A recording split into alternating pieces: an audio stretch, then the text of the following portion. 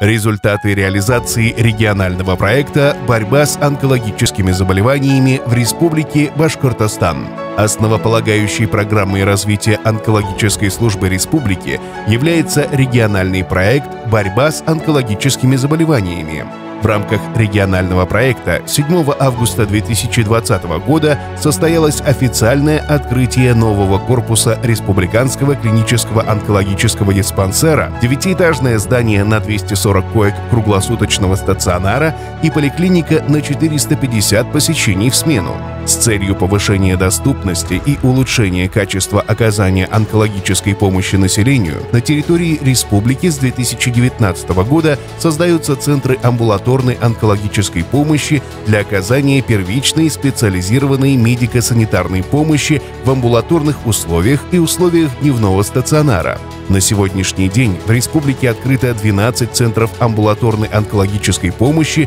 в крупных городах и районах республики, где порядка 2000 пациентов получили лекарственное лечение. Центры амбулаторной онкологической помощи оснащены новейшим диагностическим оборудованием. В рамках проведения мероприятий регионального проекта «Борьба с онкологическими заболеваниями» с 2019 года по настоящее время переоснащены медицинским оборудованием 14 медицинских организаций республики, поставлено 289 единиц медицинского оборудования на общую сумму чуть больше 2,5 миллиардов рублей – Медицинское оборудование включает в себя высокоэнергетические линейные ускорители для проведения лучевой терапии пациентам со злокачественными опухолями и неонкологическими заболеваниями, диагностическое оборудование, маммографы, магнитно-резонансные томографы, мультиспиральные компьютерные томографы, аппараты для патоморфологических исследований, ультразвуковые сканеры,